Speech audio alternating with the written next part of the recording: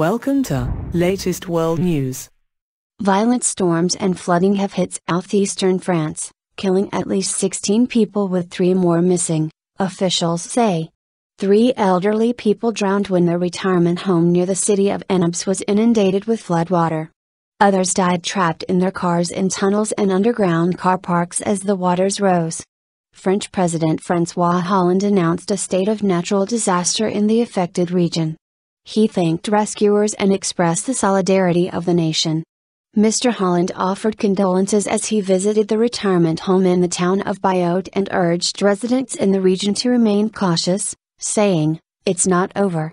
Heavy rain hit the French Riviera, which lies on the Mediterranean coast and borders Italy, on Saturday evening. The city of Nice is estimated to have received 10% of its average yearly rainfall in two days alone. The river Brague burst its banks, sending water coursing into nearby towns and cities. Social media pictures showed water gushing down the streets of Cannes. Cannes resident Katja Hyams Toenerva told the BBC, It was terrifying. We wanted to go out but decided not to as the rain was unbelievably heavy. The level of water was rising very quickly.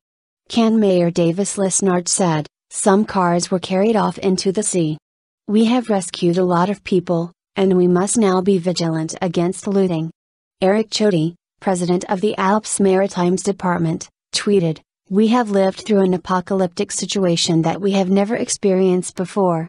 The main motorway through the area has been closed, trains halted, and hundreds of tourists sought shelter at Nice Airport overnight.